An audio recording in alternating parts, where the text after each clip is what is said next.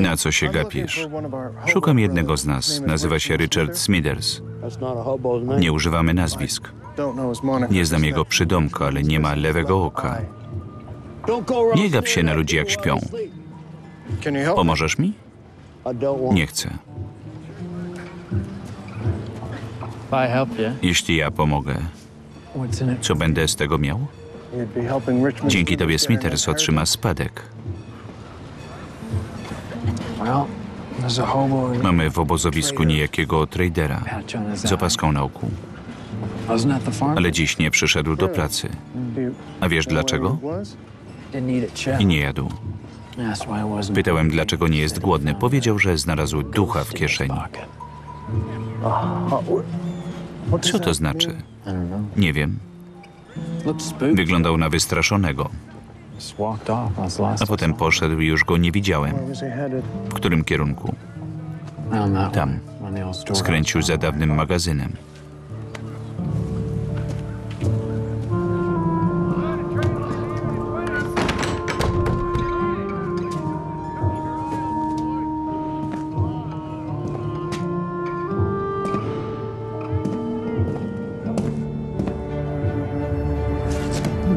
Boże,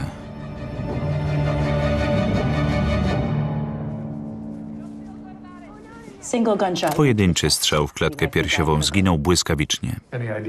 Wiemy mniej więcej kiedy? No Nie doszło jeszcze do stężenia. Ciało jest zimne, ale to chłodne miejsce.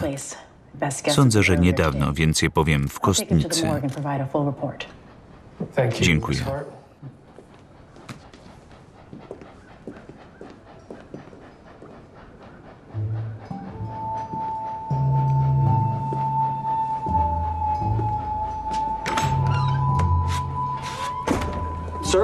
Detektywie, proszę nic nie mówić.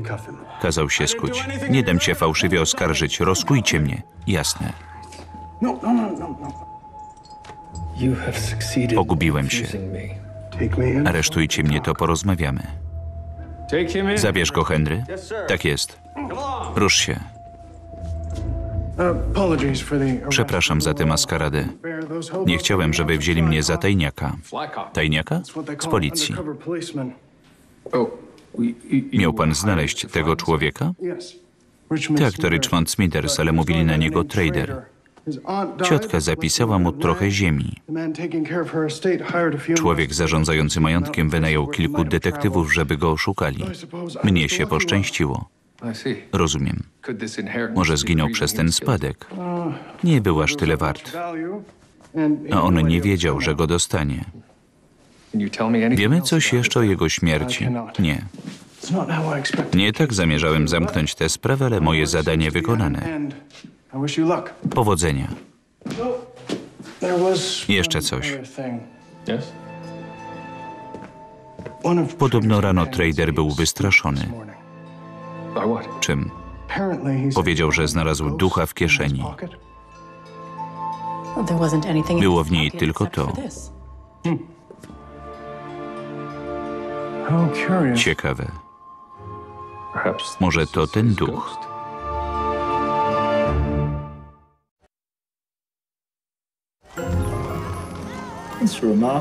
Świetna robota. Ile za nią chcecie? Stanowi dowód. Co może nam pan o niej powiedzieć? Niewiele. Moich klientów interesują monety zabytkowe albo zagraniczne. Te od bezdomnych są rzadkie. Od bezdomnych? Wymieniają je na jedzenie, czasem na pieniądze. Mam tu kilka.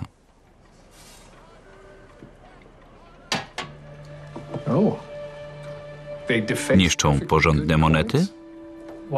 Nie wolą nimi płacić? To chyba forma sztuki. Lubią je. Ładna jest warta więcej niż nikiel, z którego powstaje. Ile? Te kosztują mniej niż dolar, ale wasza jest znacznie dokładniej wykończona. Jak je wycinają? Gwoździami, nożami, pilnikami. Naprawdę? Jeśli ręcznie, to chyba często się ranią. Myślę, że bardzo często. Ostatnie pytanie. Czy nazywa się je czasem duchami? Duchami?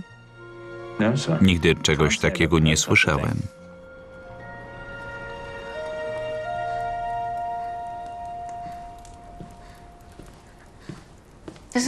Życie bezdomnych bywa romantyczne. Doprawdy, żadnych papierów.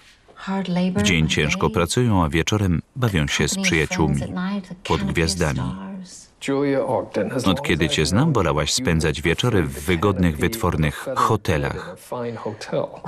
Może nie mieszkają w komfortowych warunkach, przy ogniskach, od których śmierdzą ubrania, na zimnie. Ale jednak życie w całkowitej wolności częściowo im to wynagradza. Niczego nie planują. Nikogo nie muszą słuchać. Widzisz? Moglibyśmy nadal wygodnie tu mieszkać, tylko odciąć telefon.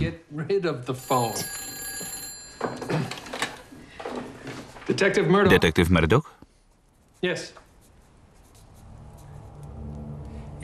Zaraz będę. Ta kobieta znalazła zwłoki. Byli też bezdomni, ale uciekli. Jak się nazywa? Gerty Dodson, kelnerka z tawerny Arlos Place. Detektyw Murdoch, pani Panna. Gerty Dodson. Jak znalazła pani ofiarę? Fernie, tak go nazywają. Wracałam z piekarni. Wszyscy wiedzą, że tu przychodzą bezdomni. A dlaczego? Karmię ich od lat. Tym, co wyrzuca się z tawerny i innymi resztkami. Nie chcę ich marnować, gdy ludzie chodzą głodni. Jasne. Widziała go pani dziś wcześniej? Nie. Pewnie coś zjadł, a potem spotkał mordercę. Nie wchodził do tawerny? Pan Arlo nie pozwala ich wpuszczać, dlatego jedzenie zostawiam z tyłu. I powinnam już wracać do pracy. Jasne. Dziękuję. Henry,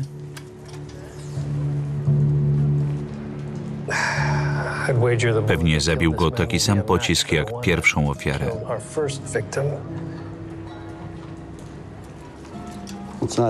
Co to? Chyba kolejny duch. Taki sam symbol wycięto nad ciałem tradera. Co oznacza? Nie mam pojęcia. Spójrz. Kolejny. Jakby strzałka. Może miała tu kogoś doprowadzić. Constables Konstable szukali całą noc aż do rana. and into the morning.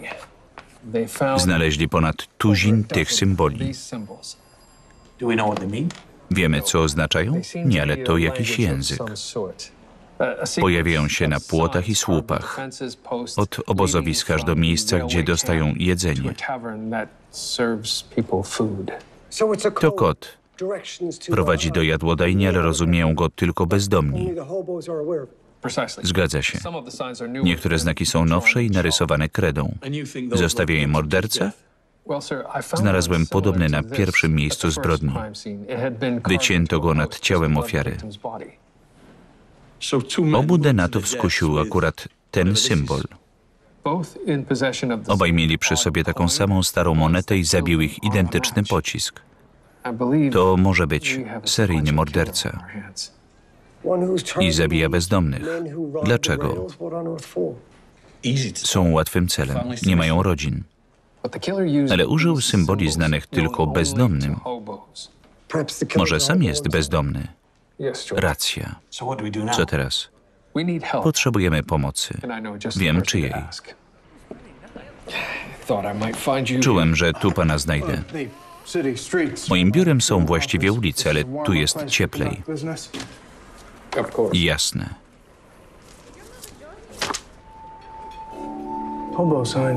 Kod bezdomnych. Gdzie je pan znalazł? Na obu miejscach zbrodni. Kolejne morderstwo? Znów bezdomny.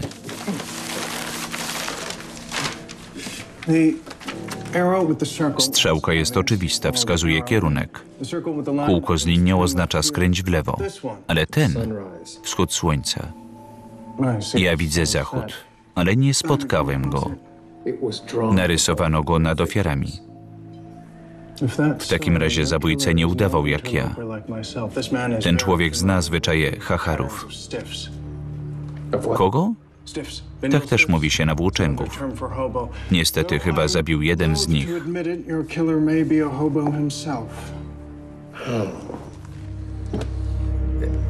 Jak pana nazywali? Używamy przydomków. Na mnie mówili Curly. Tylko tak pana znają? Niczego się nie domyślili? Świetnie odegrałem swoją rolę. Oczywiście. Czyli wciąż sądzą, że jest pan jednym z nich. Uwierzą, że Henry i ja zamknęliśmy pana na kilka dni w areszcie. Powiedzmy, do czego pan zmierza? Proszę wrócić do obozowiska, czegoś się dowiedzieć. W mieście szaleje morderca bezdomnych, a pan chce, żebym udawał potencjalną ofiarę? Inaczej zginie ich więcej. Nie jestem już policjantem, tylko prywatnym detektywem. Muszę odmówić. Utknęliśmy w martwym punkcie. Nikt z nami nie rozmawia. Mamy tylko monety i symbole. Jeśli pan się nie zgodzi, wyślę kogoś ze znacznie mniejszym doświadczeniem i życzę mu powodzenia. Kiepski plan. Wiem, ale inaczej morderca może znowu uderzyć. Narażę jednego ze swoich ludzi. Trzeba powstrzymać mordercę, zminimalizujemy ryzyko. Wygląda jak jagnię na rzeź. Poduszka? George?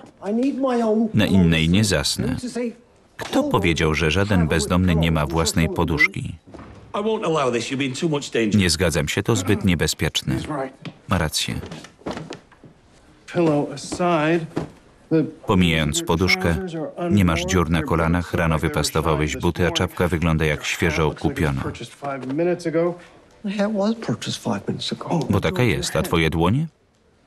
Delikatne jak u dziecka. Wystarczy. Podobno nie chciał nam pan pomagać. Nie, ale dotarło do mnie, że wyślecie Henry'ego albo George'a. Henry jest znany bezdomnym z mojego aresztowania, czyli padło na George'a. A on sam nie uniknie licznych pułapek tego świata. Pomoże pan? Tak. Bogu dzięki. Bo ja nie mam ochoty. Nie pójdę sam. W mieście grasuje morderca. Sprytnie. We dwóch raźniej.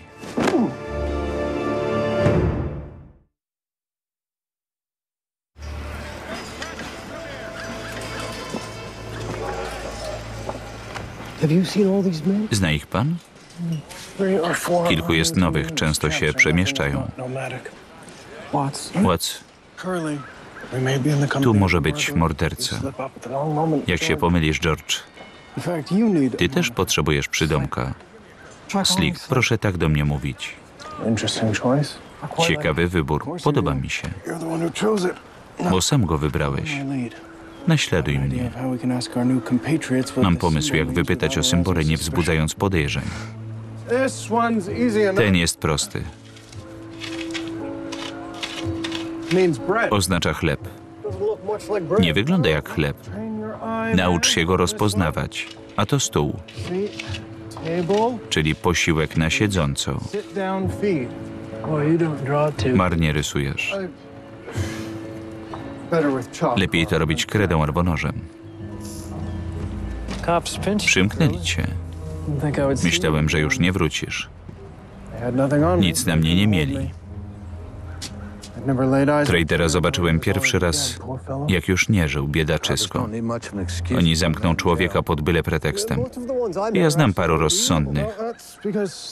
Slick jest na ulicy od niedawna. Pokazuję mu co i jak. Uczę go kodu. Slick? Sam to wybrałeś? Tak. Nie pasuje. Lepiej strach na wróble. Słucham? Pasty. Ja jestem Pasty, a to Hitch. Sleeping To Mata, to zaspany Joe. Z czasem wszystkich poznasz. To oznacza, że możesz spać na strychu. A to. Żebyś uciekał. Spróbuj uciec od tego życia. Jesteś za miękki i za późno zaczynasz. Na pewno nie ja jeden. Myślę, że nie dasz rady. Chociaż Gentleman Jones był kiedyś bogaczem, a potem stał się legendą. Chłopak z Toronto, znam o nim piosenkę. Koniec gadania. Idziemy do roboty. Znacie ten symbol?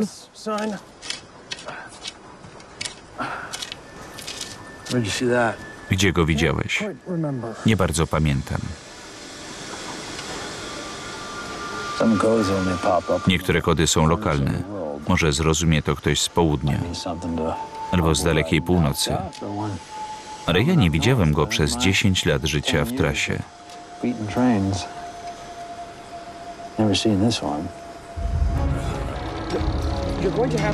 Proszę przyjść później. Nie mam na to czasu. Żegnam. Zaraz aresztuję pana za pijaństwo. Sam pan tego chciał. Idziemy.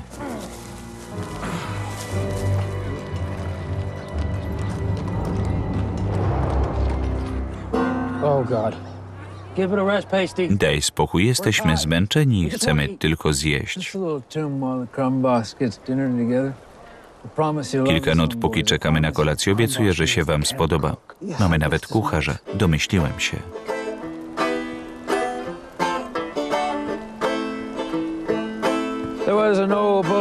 Były szlachetne rodem z Toronto. Przestań. Jakby walczyły ze sobą gołębie. To nie karuso, ale melodia ładna. Pasty to podejrzany. Wiedział, gdzie znajdę tradera. Może sam go zabił. Dzieciak miał serce złamane i chciał być bliżej jego grobu. Na zawsze z gentlemanem Jonesem. And to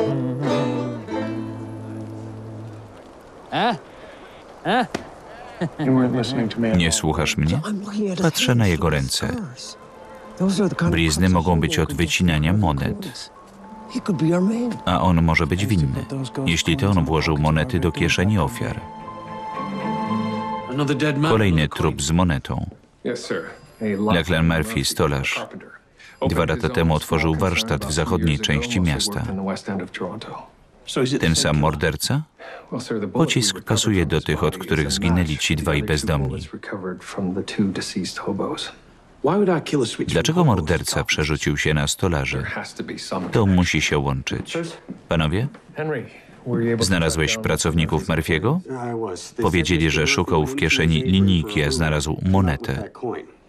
Spojrzał na nią, zbladł i wyszedł.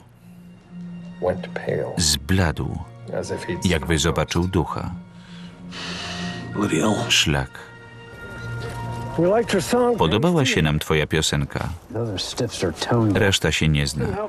A nie trudno ci grać takimi rękoma? Przez blizny? No. Nie. Okropne. Skąd je masz? Monety bezdomnych. Sam je robię. Strach na wróble dowiedział się o nas, kiedy zaczął je kolekcjonować. Masz jeszcze jakieś? Jedną, ale wyjątkową. Skąd ją wziąłeś? Znalazłem. No. Nikt nie zgubi takiego cudeńka. Chcę ją. Strach jest do niej przywiązany. Wymienimy się? Pytaliście o ten symbol. Sunset? Zachód słońca to nie słońce, tylko nagrobek. Means there's a long, Oznacza, że w takim miejscu można długo i spokojnie spać. Why didn't you tell us about Dlaczego nam wcześniej nie powiedziałeś? Sam dowiedziałem się, jak już poszliście. Od kogo? Od Matt albo Hitcha. Znają go wszyscy z Nebraski. Dziękujemy. Że co? Give me the coins. Dawaj monetę, obiecałeś. I didn't agree to anything. Nie zgodziłem się. Dobrze o tym wiesz, prawda?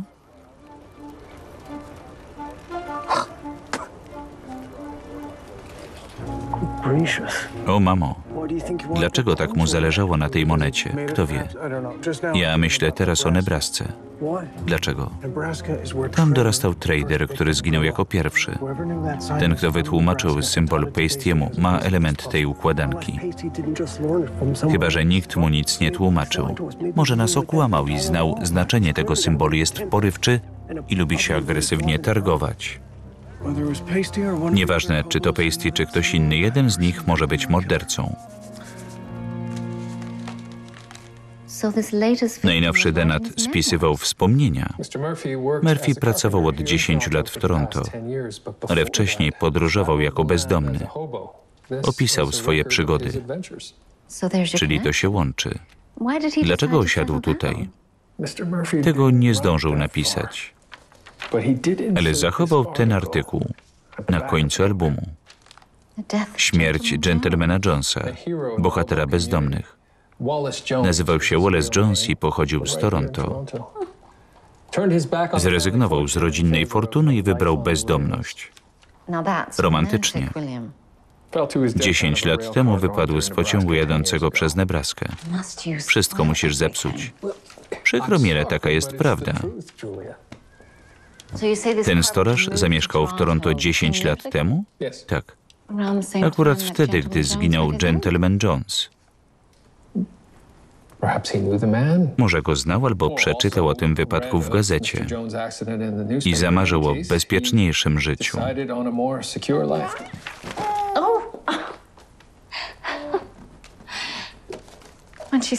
Nie wiem, co zrobimy, jak zacznie chodzić. Mamy pas. Nasze dziecko nie będzie chodzić na smyczy.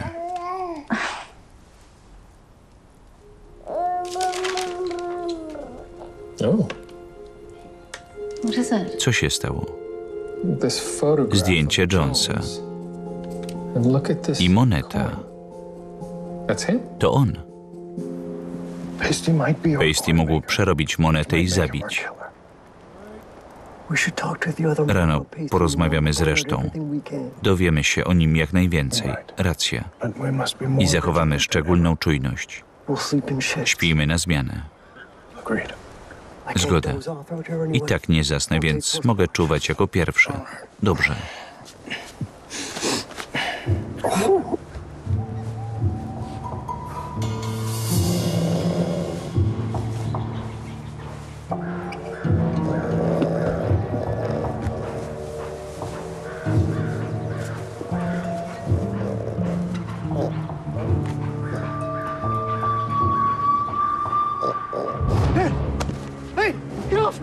Zostaw mnie.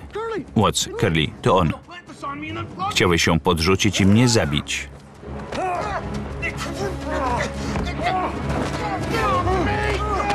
Zostawcie mnie. Oni nie są bezdomni, zabijają nas. On ma broń. I tak musimy go złapać.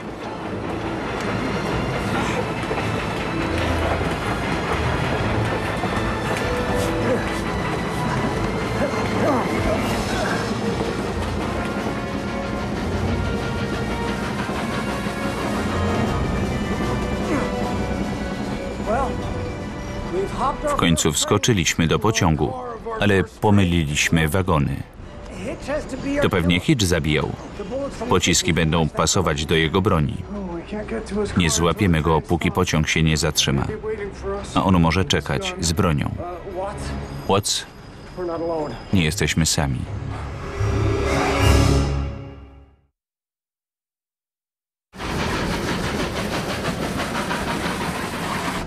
Pasty, my friend and I came here to help. Chcieliśmy wam pomóc. Nie sądzę. Wszyscy jesteśmy w niebezpieczeństwie.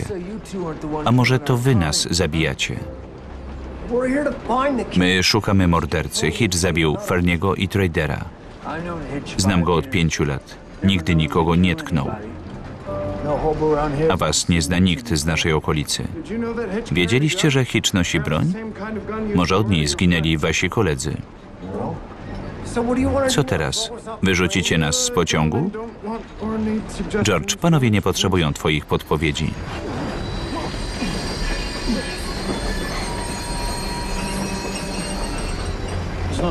Tu nie ma stacji. Idą byki. Byki? Takie zwierzęta? Nie, nie zwierzęta. To wszystko mogło być jego. Gentleman Jones był najstarszym bratem. Nie, dziękuję. Nie nazywa go pan Wallace'em? Wolał pożegnać dawne imię. Po odejściu jeszcze tylko parę razy pokazał się w Toronto.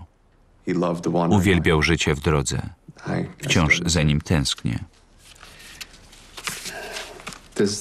Ten symbol coś dla pana znaczy? Wygląda jak wschód słońca.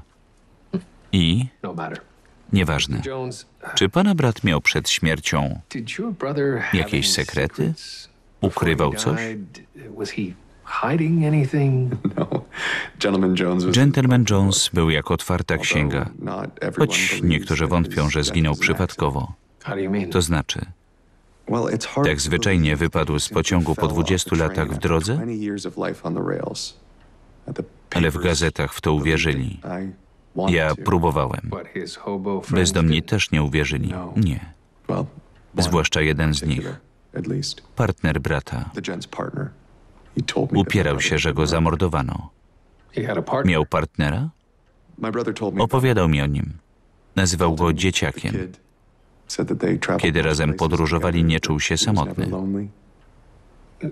Ale nie byli razem, kiedy brat zginął. Dzieciak napisał mi, że rozstali się na parę tygodni, właśnie wtedy doszło do wypadku.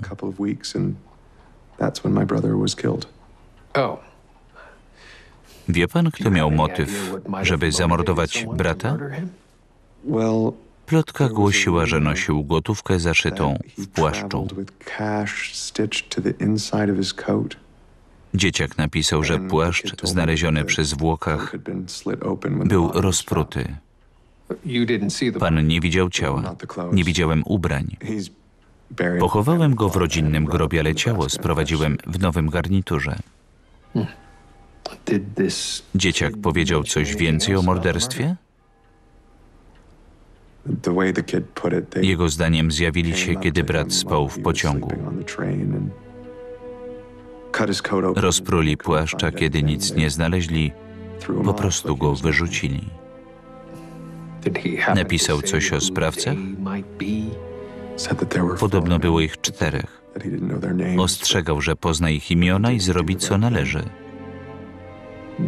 Zemści się. Ktoś zginął?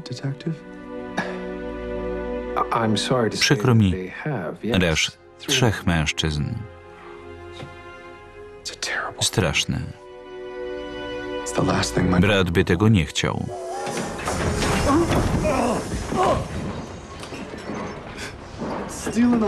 Jadą sobie bezczelnie w dzień. Odłóż pałkę. Walczmy uczciwie. Niby po co? Tylko spokojnie.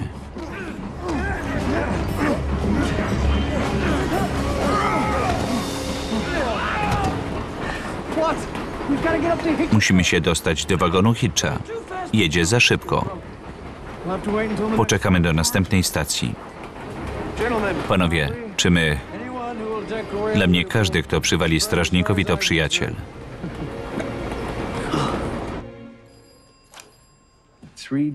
Trzy trupy. Jeśli Owen Jones ma rację, dżentelmena zamordowało czterech napastników. Jeden jeszcze żyje. Każda z ofiar sama była mordercą. Nie nam rozstrzygać o ich winie. Szukamy zabójcy, żeby go powstrzymać. Myśli pan, że zabija partner dżentelmena Jonesa? Tak.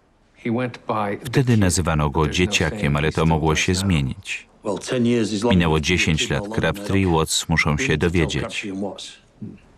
Mam nadzieję, że odkryją coś, zanim będziemy mieli czwartą ofiarę.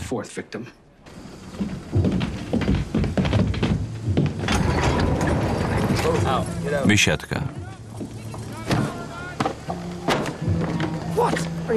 Wszystko dobrze? Tak. Próbujemy zaskoczyć Hitcha? Albo już na nas czeka, albo zaskoczony zacznie strzelać. Marny pomysł.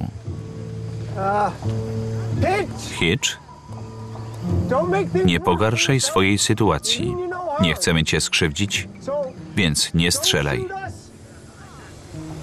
Chcemy tylko porozmawiać, więc nie strzelaj. Hitch?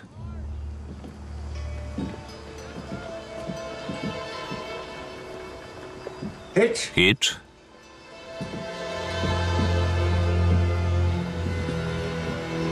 My God, he's Nie żyje.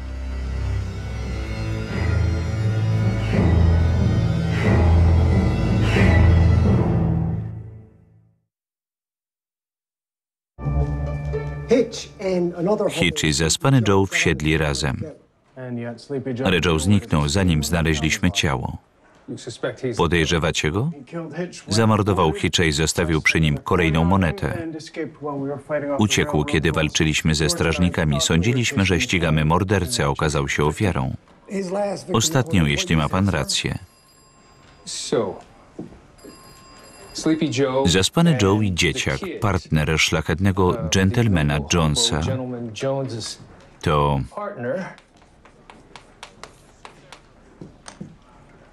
zapewne ten sam człowiek. Jeśli mam rację, dorósł i zmienił przydomek. A teraz może być w połowie drogi na Florydę. Dlaczego nazwał pan gentlemana szlachetnym? Tak napisano w artykule opisującym jego śmierć. To brzmi znajomo. Namieszałem. Policja chyba nie powinna korzystać z mojej pomocy.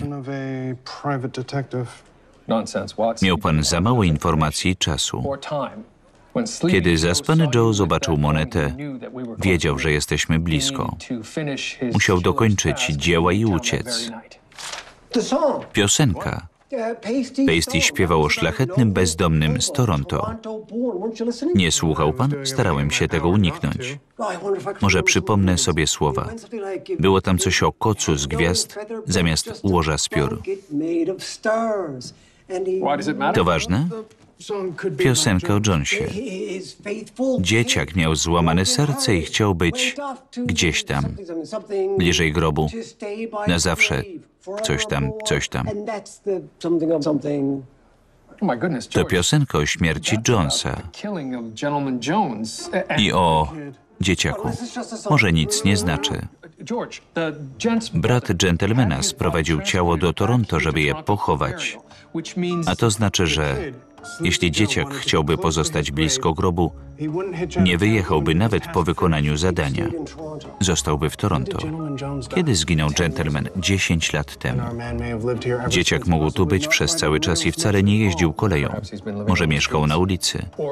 Albo wrócił do społeczeństwa jak Murphy. Ale coś go łączyło z bezdomnymi. Dlaczego? Skąd by wiedział, że ofiary są w Toronto? Poza stolarzem wszyscy byli tu przejazdem. W każdym razie morderca może wciąż być w mieście. Mamy szansę go złapać. Jakim cudem?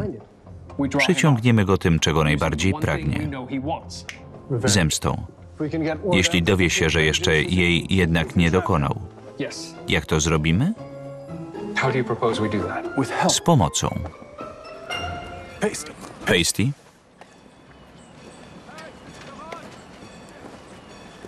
Mam propozycję. Jeśli nie chodzi o nocleg ani o gorący napój, nie mam na to siły.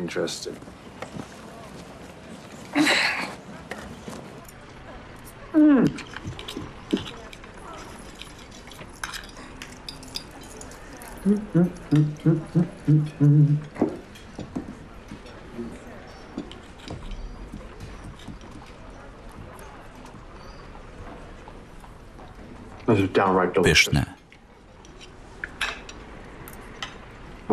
A gdzie wino? Proszę się skupić, panie Pasty. Musimy złapać mordercę. Jesteś nam potrzebny. Nie pomagam policji. Pomoże pan bezdomnym. Niech wszyscy wiedzą, że nie można was bezkarnie zabijać. Roznieś tylko plotkę, że Hitch przeżył i trafił do szpitala. On żyje? Nie, przykro mi. Zginął. Ma pan skłamać. Do szpitala nie wpuszczają gości, ale jeśli ktoś chce mu podrzucić bimberek, niech zostawi go nocą na progu. Znaki prowadzą tam aż od obozowiska. Po co? Jeśli morderca uwierzy, że Hitch przeżył, wróci, aby dokończyć dzieła, a my będziemy czekać.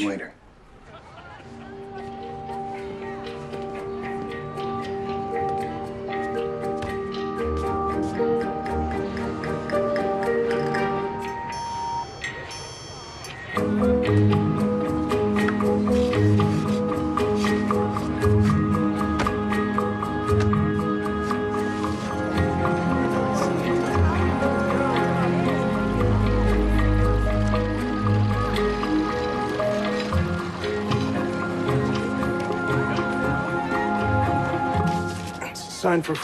Darmowa opieka lekarska, oczywiście. Uh. Twarz z drugiej strony. Trzymasz to do góry nogami. Tak mi ją pan podał. Oby się udało. To nasza jedyna szansa. Ten uśmiech jest potrzebny? Oh, Na miłość. no, Może i nie. Enough. Wystarczy? Tak.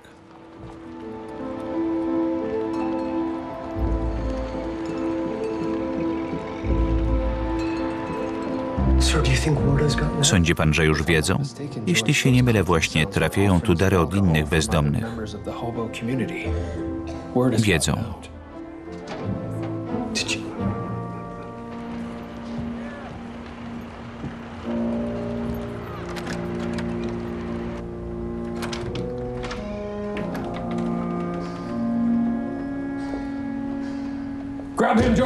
Łap go. Bardzo panią przepraszam. Co pani tu robi? A co robicie wy? Włożyłeś kapelusz Hitcha jak jakaś zjawa. Wstydź się. Powtórzę za detektywem, co panią sprowadza. Bezdomni powiedzieli, że Hitch tu leży. Przyniosłam mu coś, żeby się posilił. Uh. Można je jeszcze zjeść. Uh, Pani dłonie. Te blizny wzięły się z tawerny? Czy może od nacinania monet? Back away. Odsuńcie się. Not you. Nie ty. Staniesz przede mną. Celuję prosto w twój kręgosłup. Pani to zaspany Joe, prawda?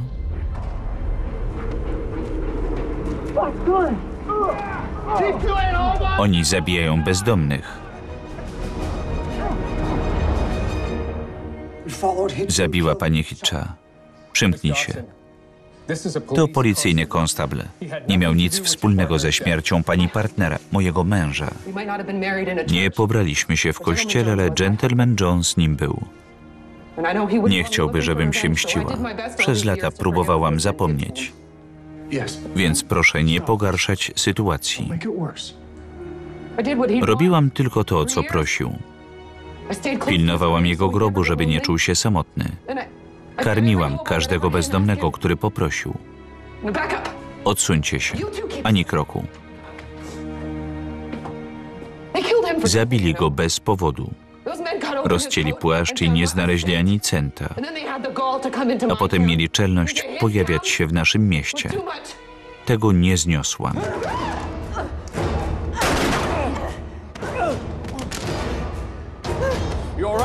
Wszystko dobrze? Tak.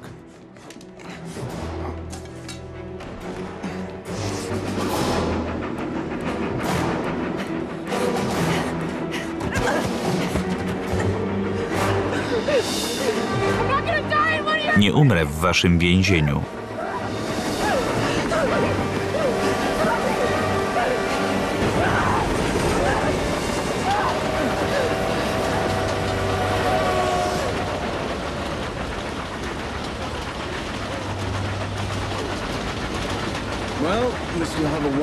Teraz zapewnimy pani nocleg.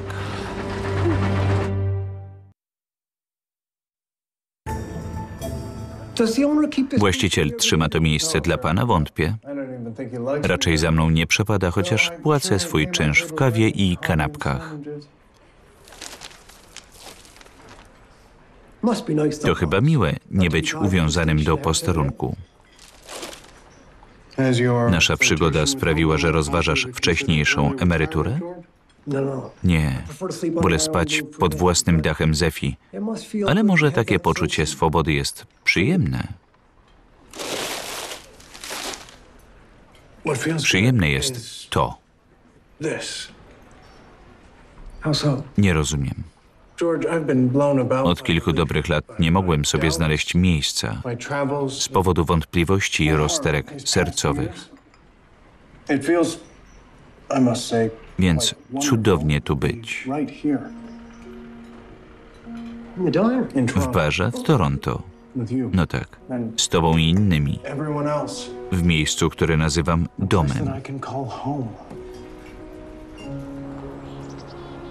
Oh, Chciałabym znów podróżować. Z mężem. Myślisz, że mamy jeszcze szansę? Tak. Nie już teraz. A tymczasem Is that us? to my? certainly Jak najbardziej. Mała doktor Ogden, Susanna i ja. Jesteś bardzo wysoki. Nie znalazłem innej figurki. Nie skończyliśmy zwiedzać świata. Tylko to odłożyliśmy.